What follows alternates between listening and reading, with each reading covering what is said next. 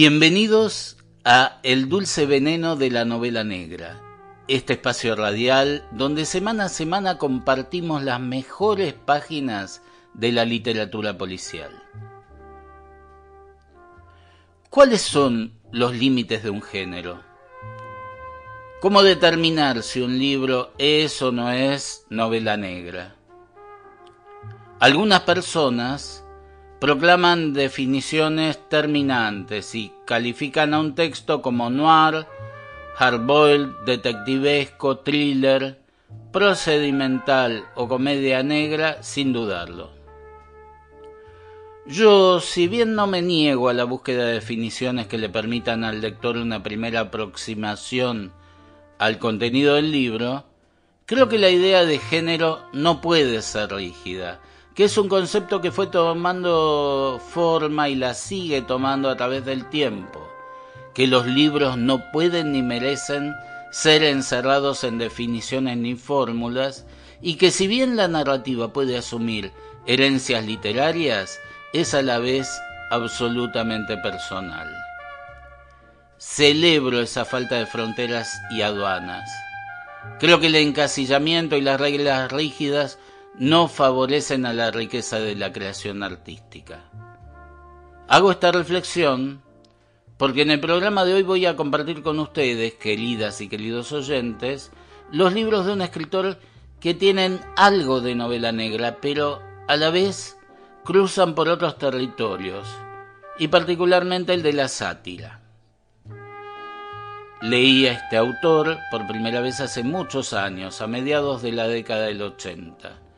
En ese momento compartía el entusiasmo por sus libros con dos grandes amigos, el actor rosarino Raúl Santangelo y el periodista Fabián Polosecchi, conocido como Polito. Ese escritor del que les hablo es Kil Bonfiglioli. Al releerlo esta semana, los recuerdos revivieron, la fascinación se renovó y con ellas las ganas de compartirla con ustedes a través del programa. Por una vez, me voy a permitir una dedicatoria. Apolito, porque el cariño no se desvanece con el tiempo. Pero comencemos con música. Por favor, Milton Cardoso.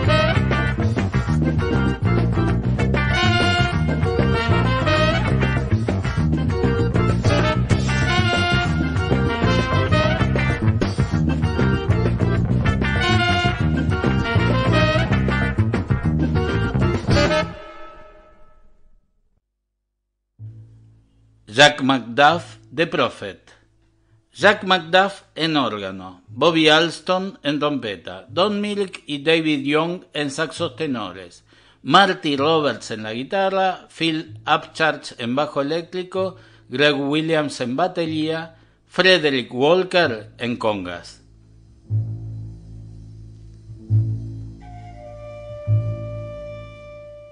Cuando se quema un marco antiguo tallado y dorado, hace un ruido semejante a un suave siseo en la parrilla de la chimenea, semejante a un amable fu, y las hojas de oro tiñen las llamas de un maravilloso tono azul verde parecido a un pavo real. Observaba dichos fenómenos complacientemente el miércoles a la noche, cuando Martland fue a visitarme. Tocó el timbre tres veces rápidamente, como un hombre arrogante y apurado. Casi diría que estaba esperándolo, por eso cuando mi asesino a sueldo Jock asomó la cabeza por la puerta con las cejas excesivamente levantadas, pude infundirle un cierto aplomo. ¿Qué pase? En algún submundo, Jock había aprendido lo que Marlan sabía, que los hombres corpulentos caminan con una sorprendente gracia e ingravidez, y como resultado de sus observaciones caminaba como un diablillo enano que esperaba ser cazado por algún duende. Entraba haciendo cabriolas como un gato, era absurdo con sus posaderas moviéndose silenciosamente. No te levantes, dijo al ver que no tenía intención de hacerlo. Me serviré solo, ¿de acuerdo? Dejando de lado las tentadoras botellas colocadas en la bandeja, se dirigió directamente y sin titubeo a la enorme botella de Rodney que estaba debajo y se sirvió una generosa cantidad de lo que Marlan creía que era mi Taylor del 31. Era un tanto a mi favor, ya que la había llenado con un oporto inválido de increíble mal sabor.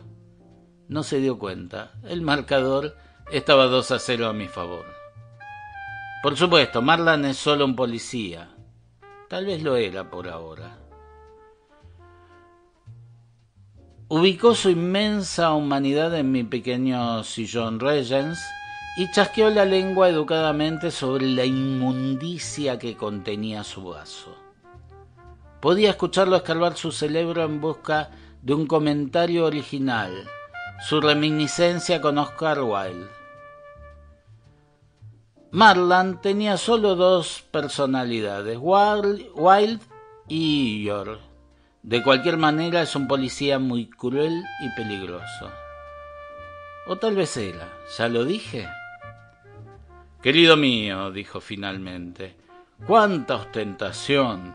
Hasta tus leños son dorados. Un marco viejo, dije descubriendo el juego. Lo quemé. Tanto desperdicio, un precioso marco tallado estilo Luis XVI.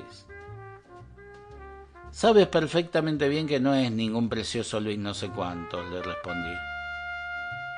Es una reproducción estilo Chippendale, fabricada la semana pasada por uno de los tantos comercios de la Greyhound Road. Lo saqué de una tela que compré los otros días. Uno nunca puede estar seguro de lo que Marlan sabe o deja de saber, pero me sentía seguro en el tema. No pensaba que Marlan hubiera tomado un curso sobre marcos antiguos. Me complacería saber que se trataba de un Luis XVI.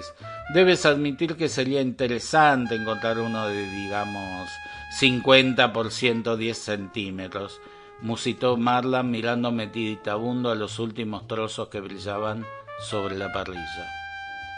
En ese momento entró Jock y colocó cerca de siete kilos y medio de carbón sobre las maderas. Después se alejó no sin antes dedicarle a Marlan una educada sonrisa. Lo que Jock considera una sonrisa amable es una mueca, hecha atrás parte del labio superior sobre una hilera de dientes largos y amarillos como los de un perro.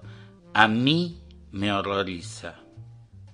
Escucha, Marlan, dije suavemente, si me hubiera apropiado de ese Goya, o lo hubiera comprado a quien lo robó, Me resulta imposible creer que piensas que lo traje a mi casa con su marco. Por Dios, ¿piensas que lo hice después que me el marco de, en la chimenea? No soy estúpido, ¿verdad?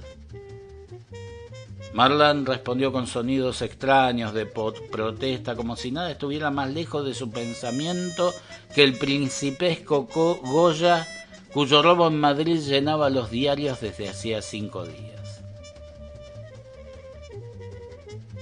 Les leí el inicio de No me apuntes con eso, la primera novela de Kirill Bonfiglioli, que tiene como protagonista a Charlie Mort de un comerciante en obras de arte, un marchand de apariencia amable e ingenua, pero que no tiene nada de tonto.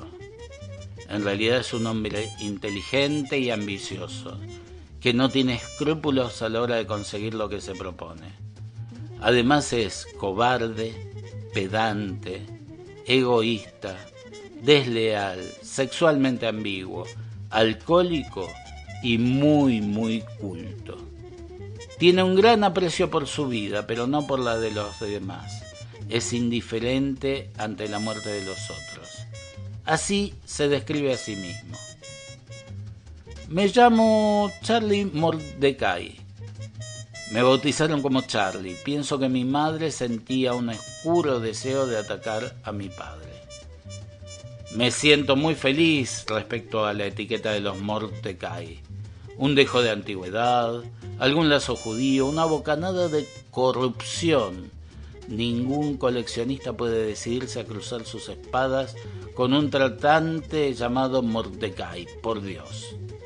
Estoy en lo mejor de mi vida y si eso le sirve de algo, de estatura normal, de doloroso peso más que lo normal y poseo los intrigantes restos de una relumbrante apariencia algunas veces a media luz y con mi barriga bien comprimida incluso llego a gustarme.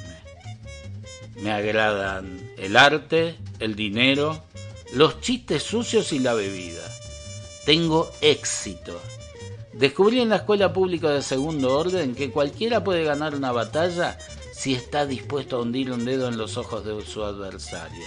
Mucha gente es incapaz de hacerlo. ¿Sabían eso? Soy casi un honorable porque mi papito fue Bernard, primer varón Mordecai de Salverdell en el condado palatino de Lancaster.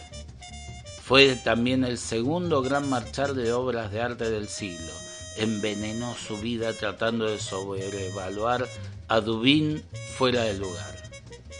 Obtuvo su título de varón ostensiblemente por procurar a la nación un tercio de millón de libras de obras de arte, buenas pero invendibles, pero en realidad se debió en gran medida por olvidar ciertas cosas embarazosas que sabía de alguien. Después de la muerte de mi hermano, publicarán sus memorias. Seguramente después del próximo mes de abril, si tenemos suerte, se las recomiendo. Una observación acerca del apellido. Mordecai suena bastante similar a Mordecai, un nombre judío de origen babilonio que significa siervo de Marduk, una divinidad mesopotámica. Pero al agregarle la T, Mordecai, parecería que el autor juega con el significado de la primera palabra, mort, muerta en francés. Se me ocurrió entonces buscar la parte final del apellido, de Kai, en el traductor de Google, y para mi sorpresa lo detectó como un término chino que significa moralidad. El apellido Mordecai significaría entonces muerte de la moralidad, nada más adecuado para describir al personaje. No creo que sea una casualidad. Bonfigliori era un hombre muy culto y el juego de palabras es absolutamente coherente con su humor. Pero antes de continuar contándoles acerca de Charlie Mordecai, le voy a pedir a mi amigo y editor Milton Cardoso otro tema musical.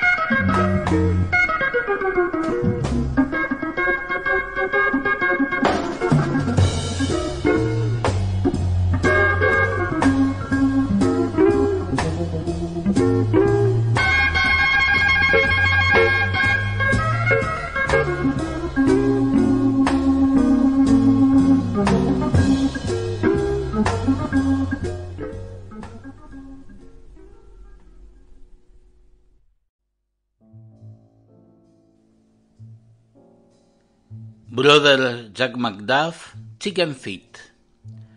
Jack McDuff en órgano, Harold Usley en saxo tenor, Pat Martino en guitarra y Joe Dukes en batería.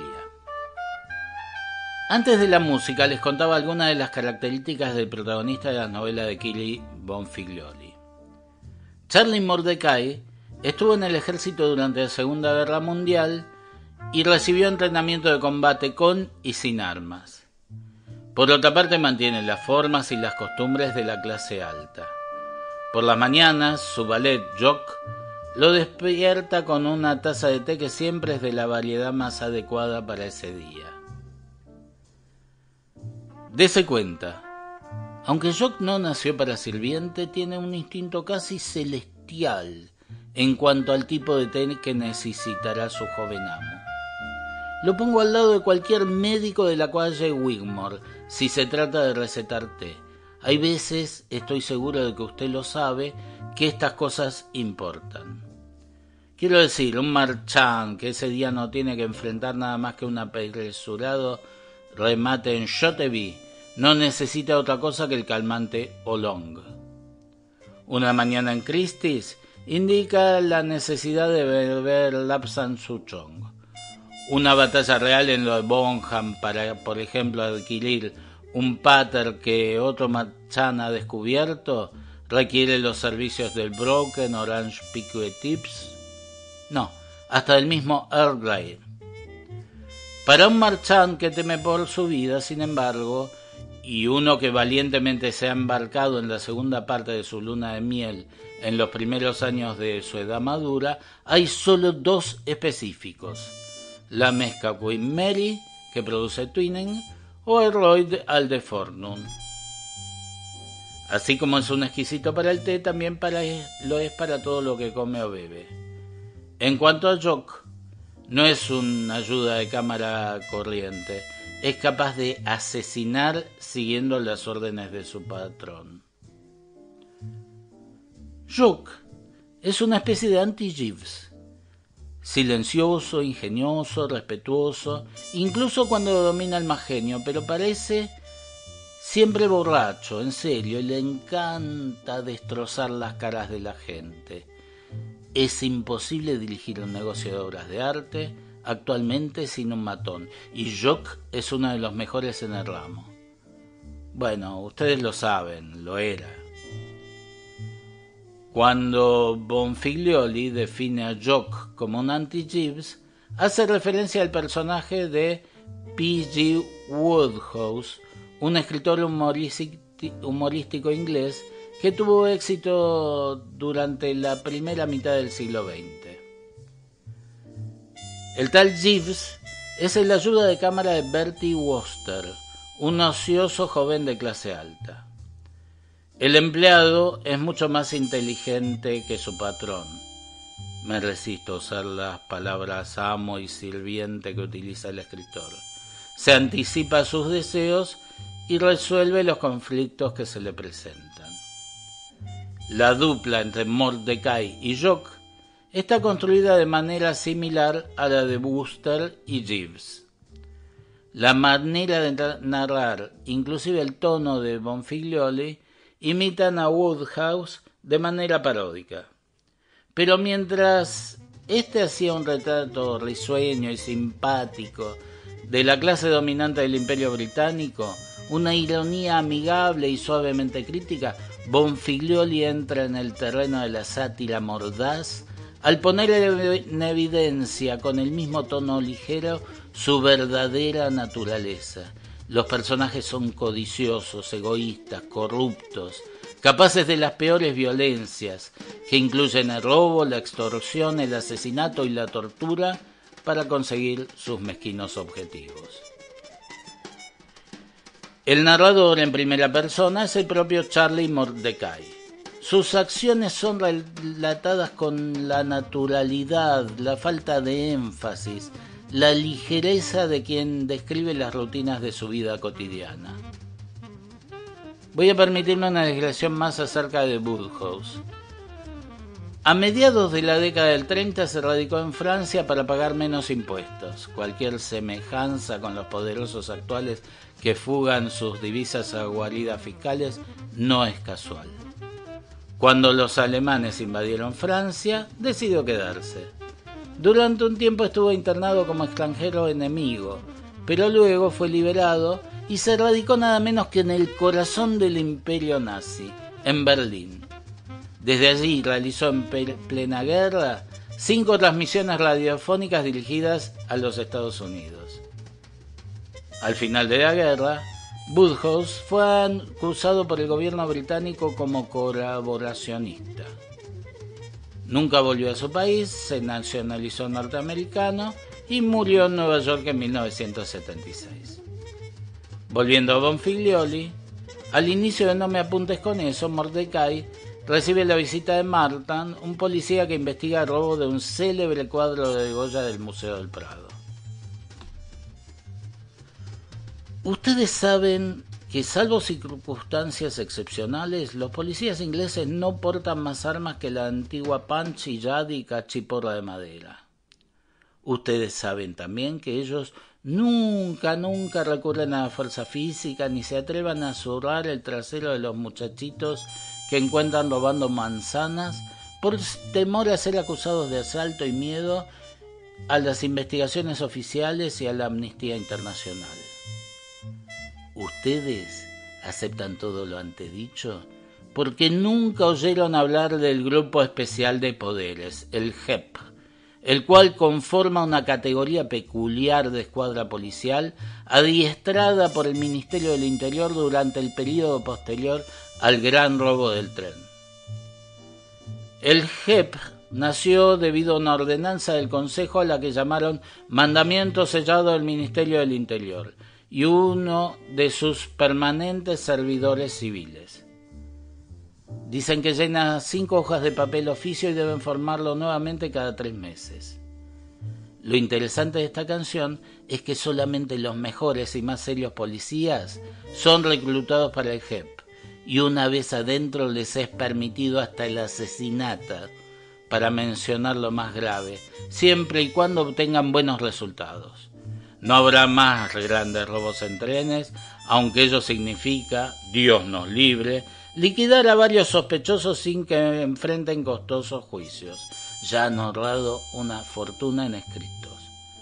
Todos los diarios, incluso la cadena Australia, hicieron un convenio con el ministerio por el cual obtienen las historias en caliente del pozo séptico y en retribución no dan a publicidad todo lo relacionado con armas de fuego y torturas. Algo encantador. El JEP, no necesita tener relación de dependencia alguna con el servicio civil, excepto con un horrorizado hombrecito del tesoro, y su mandamiento instruye, si me lo permiten, instruye a los comisionados de policía concederles todas las facilidades administrativas sin obligaciones disciplinarias ni formalidades clericales. La policía regular adora esos ardites, naturalmente. El jefe es responsable solamente ante el primer ministro de la reina, a través de su procurador, quien es nombrado conde, un consejero privado que recorre los retretes públicos a altas horas de la noche.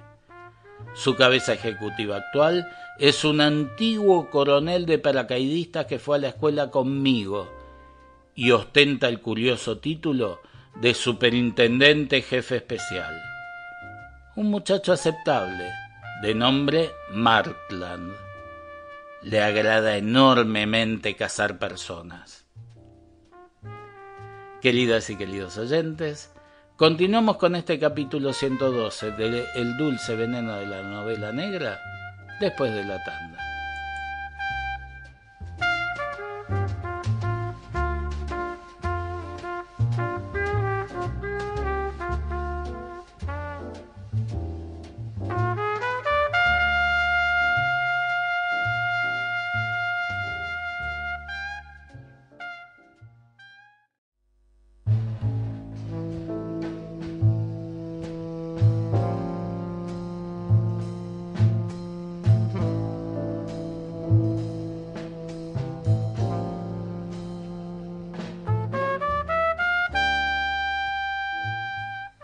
Continuamos con este capítulo 112 de El dulce veneno de la novela negra dedicado a Kirill Bonfiglioli.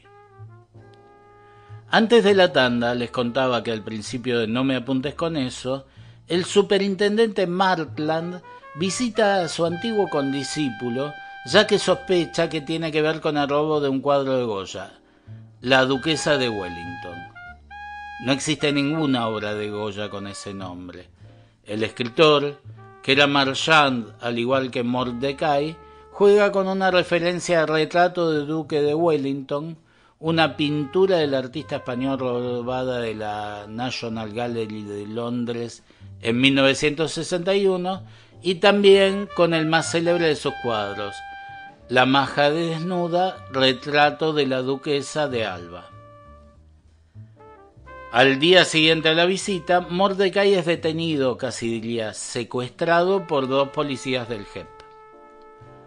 Ante la posibilidad de ser trasladado a un centro de tortura, reclama ser llevado a la casa de su antiguo condiscípulo Marlan. Marlan finalmente se puso de pie con una gracia sorpresiva, etc. Y colocó un disco en el aparato, concentrándose en sentar bien los parlantes del enorme estéreo quad. Era el disco encantador de los trenes que van y vienen, el mismo que todos compramos cuando, por primera vez, podemos tener un estéreo. Nunca me cansé de él. Maurice. Marlan le habló cortésmente a uno de sus rufianes. ¿Querrías traer la batería del auto de 12 volts de alta tensión del banco donde se está cargando en el sótano? Y Alan, prosiguió, ¿quieres cerrar las cortinas y bajar los pantalones de Mr. Mordecai? ¿Qué puede hacer uno cuando sucede esa clase de cosas? ¿Forcejear? ¿Qué expresión puede poner uno cuando ha sido bien educado? Alegría, vergüenza, un digno desconcierto. Mientras trataba de elegir la expresión adecuada, fui hábilmente despojado de mis ropas interiores y lo único que sentí fue un terror indescriptible. Marland, con mucho tacto, me dio la espalda y se dedicó a aumentar en unos decibeles el volumen del equipo estéreo. Morris, siempre lo, recordaré como Morris, había conectado el primer cable medio minuto antes de que Marlan diera la orden de conectar el segundo. Perfectamente sincronizados, los Flying Scotsman gritaban estereofónicamente buscando un paso a nivel. Yo competía en mono. Así prosiguió ese día interminable. No duró muchos minutos, debo reconocerlo. Soy capaz de soportar cualquier cosa menos el dolor físico. Además, el pensamiento de que alguien me hiere deliberadamente y sin importarle me trastorna tremendamente.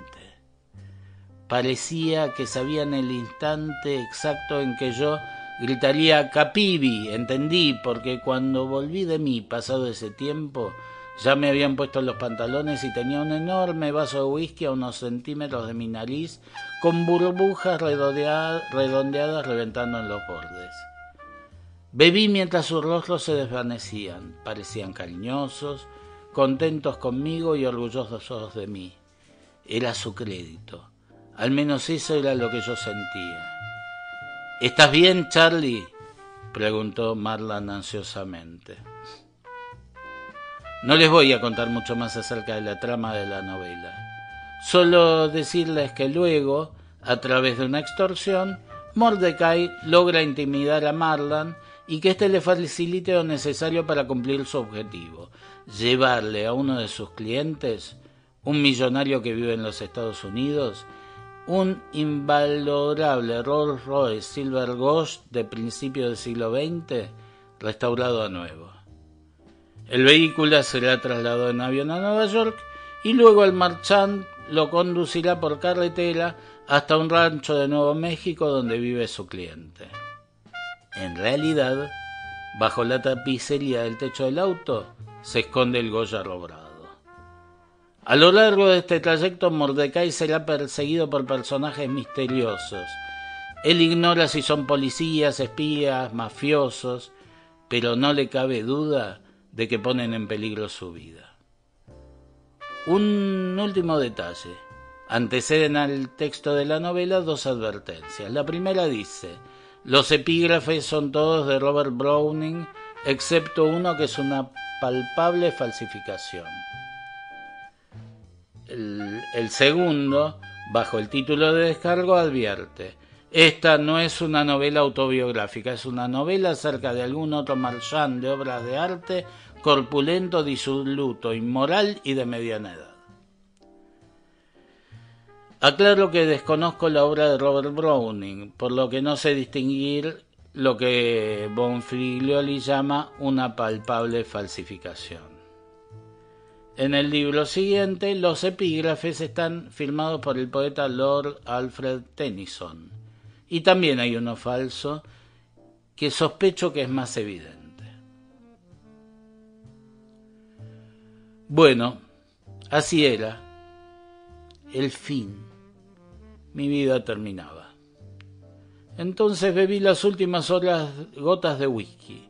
Le eché una última mirada enamorada a la duquesa desnuda y vertí quizás, no lo recuerdo, una lágrima de pena por mí mismo, el último lujo, antes de ponerme en pie pesadamente.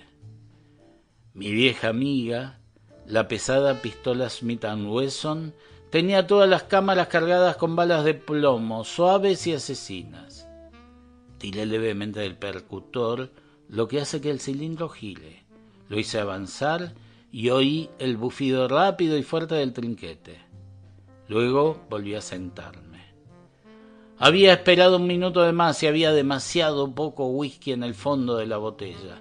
Si hubiera habido un solo centilitro más, habría salido de mi maloliente cueva rugiendo como un viejo ojo gris, pero ahora la templanza se había impuesto. Dese cuenta.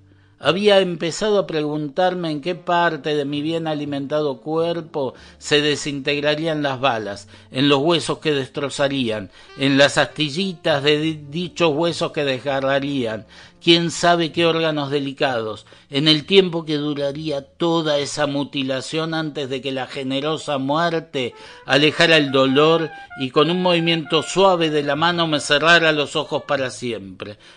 No, espere, lo siento. Aguarde un instante. Se me termina de ocurrir que usted quizás no entienda muy bien por qué Charlie Mordecai. Yo se estaba preparando para morir en una maloliente caverna sin más compañía que una duquesa desnuda, un pesado revólver y una botella de whisky vacía. Me doy cuenta que algunos deben pensar que la situación es poco común, hasta algo exótica quizás. Bueno, esto es lo que ocurrió aquí antes de que entrara usted. Los lectores nobles empiezan a leer aquí. Se trata de este fulano, yo, ¿se da cuenta? El honorable Charlie Mordecai. Me bautizaron Charlie, no es un diminutivo. ¿Quién es? O mejor dicho, soy un experto en arte, agradable, rico, cobarde, amante de la diversión y aficionado al crimen como medio de no pensar en las hemorroides. También está este fantástico cuadro de Goya de la duquesa de Wellington, la que en el momento en que pintaron la tela había olvidado de volver a ponerse los calzones largos, y ni hablar del resto. Como siento tanto respeto por la propiedad ajena, que hasta llego al extremo de sentirme obligado a cuidar de ella personalmente, había hecho desaparecer la pintura de su lugar en el Prado de Madrid y yo mismo se la había llevado a un millonario de Nueva México, amante del arte. Les leí El principio de detrás con un revólver, el segundo libro centrado en la figura de Charlie Mordecai. Antes del próximo tema musical, solo les voy a anticipar que este es mejor aún que el primero. Por favor, Milton Cardoso,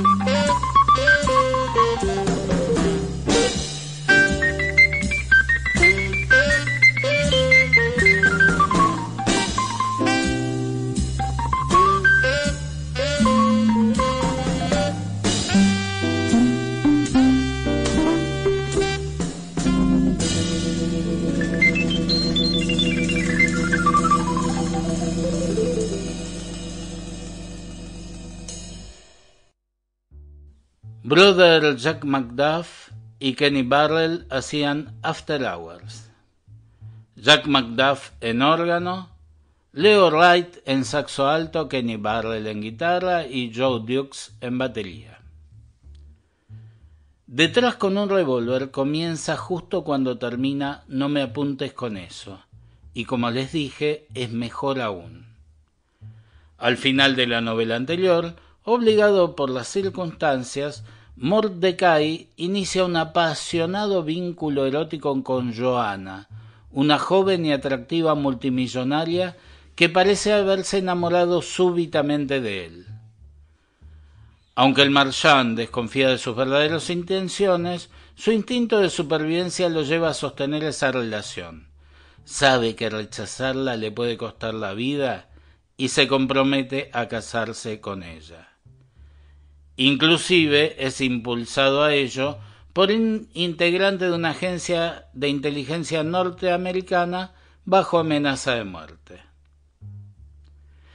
Charlie, querido, vas a casarte conmigo, ¿no?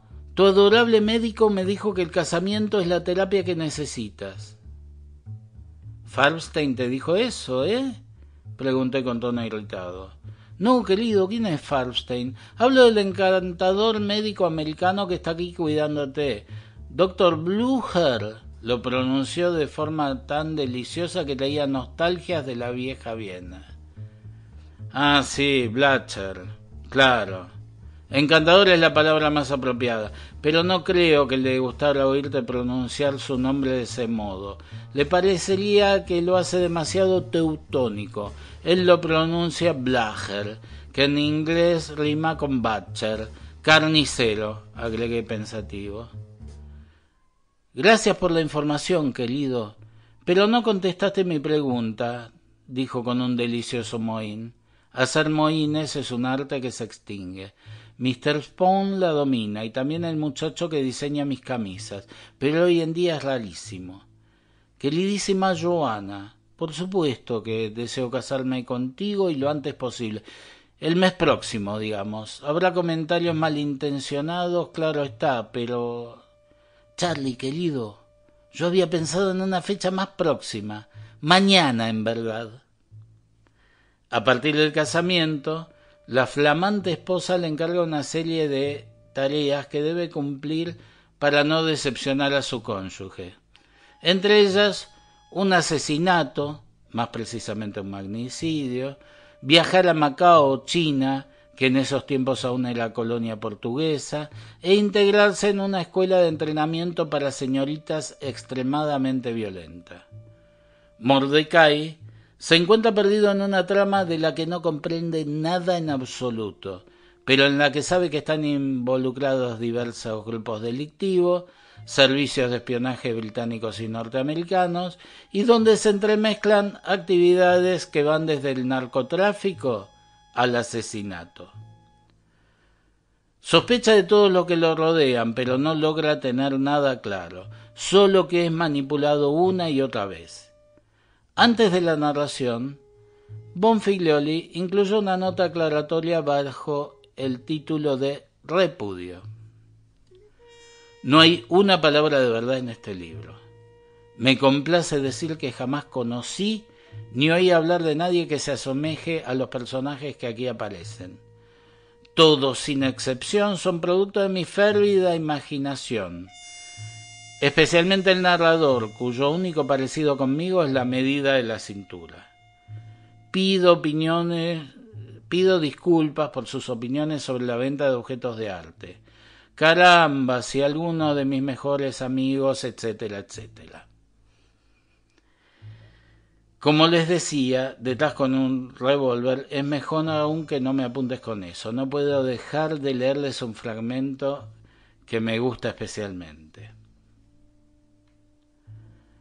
Debo admitir que las gaviotas cuentan con mi aprobación. La mayoría de los criminales de poca monta hacen su trabajo muy mal hoy en día. ¿No está de acuerdo conmigo?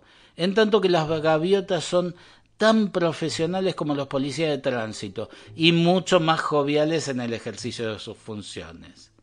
Ellas, las gaviotas, se reúnen a la grisácea luz del alba, gritándose chistes verdes y largando impúdicas carcajadas con las que despiertan a los dormilones como usted y como yo.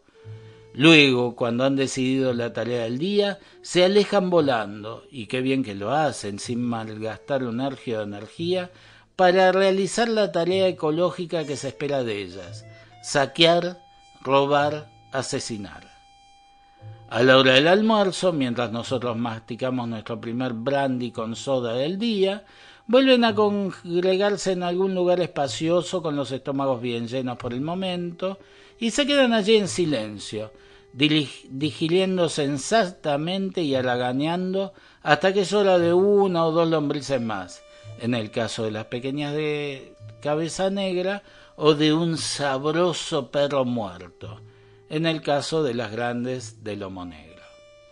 Cómo eleva nuestro ánimo ver sus piruetas y saltos al seguir la estela de un ferry boat a la espera de que los idiotas compren los sándwiches que fabrica la empresa de ferrocarriles y tras el primer bocado los tiren por la borda asqueados. La poesía de sus movimientos. Cuando todo el mundo y yo éramos jóvenes y la gente sabía aún cuál era su lugar en el mundo, las gaviotas eran algo que se manifestaba únicamente en el mar y solo en forma ocasional se posaban en la costa para defecar en nuestro lindo Panamá Nuevo para que la institutriz pudiera sacarse el gusto de maltratarnos. Hoy en día se las ve por todas partes. Examinan los tachos de basura y hacen cola en los puestos de venta de pescado frito en vez de nadar en los mares cubiertos de petróleo y devorar las sabiosas entrañas de alencos recién contaminados. Algunos datos biográficos sobre el autor. Killing Bonfiglioli nació en 1928 en Eastbourne, Inglaterra. Su nombre completo era Cyril Emanuel George Bonfiglioli. Su padre era un ítalo esloveno, Emanuel Bonfiglioli, y su madre inglesa, Dorothy Pallet. Su madre y su hermano murieron durante la guerra en un ataque aéreo cuando él tenía 14 años. Estuvo en el ejército entre 1947 y 1954 y luego estudió en la Universidad de Oxford. A mediados de la década del 60 dirigió la revista de ciencia ficción Science Fantasy, rebautizada luego como Impulse lo sucedió en el cargo el conocido escritor del género Harry Harrison. Bonfiglioli fue marchand de obras de arte y publicó artículos sobre su especialidad. Se describía a sí mismo como consumado esgrimista, bueno en el manejo de todas las armas de fuego y marido en serie de mujeres hermosas. Afirmaba ser abstemio en todo excepto en la bebida, la comida, el tabaco y en conversación. Y decía que fue amado y respetado por todos los que lo conocieron superficialmente. En 1973 publicó su primera novela, No me apuntes por eso, con eso que ganó el New Blood Dagger, premio otorgado por la Asociación Británica de Escritores Criminales a la mejor primer novela de un escritor hasta entonces inédito. La continuación, Detrás con un revólver, llegó en 1976. Ambas fueron editadas en castellano en la etapa final de la colección El Séptimo Círculo. Existe además una tercera parte de la serie de Mordecai y una precuela sobre sus antepasados holandeses, pero nunca fueron publicadas en nuestro idioma. Una verdadera pena. Bonfiglioli murió en 1985 como consecuencia de una cirrosis. Queridas y queridos oyentes, llegamos así al final de este capítulo 112 del dulce veneno de la novela negra. Si están interesados pueden comunicarse conmigo a través de la página de Facebook. Ponen en el buscador Gabriel Weinstein y entre los resultados elijan el que tiene entre paréntesis el nombre del programa. Nos vamos con buena música. Vamos a escuchar a Brother Jack McDuff haciendo Jackie. Jack, McDuff en órgano, Kenny Barrell en guitarra y Joe Dukes en batería. Muchas gracias, nos encontramos en el próximo capítulo.